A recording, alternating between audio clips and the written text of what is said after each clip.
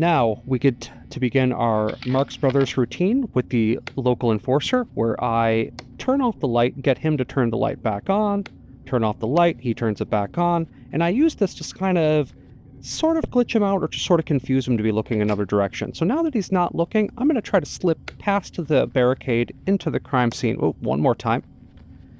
And then we pop the light, and we slip in. Ooh, and he saw me come in, of course. So we're going to quick shut the door in his face.